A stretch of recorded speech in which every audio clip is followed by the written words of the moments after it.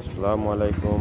দেখো কা খুব সুন্দর সরফুটি খুব সুন্দর।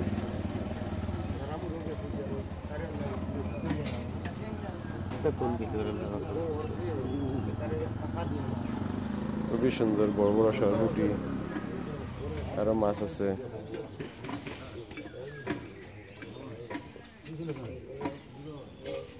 বেশিরভাগ সরফুটি উঠিছে।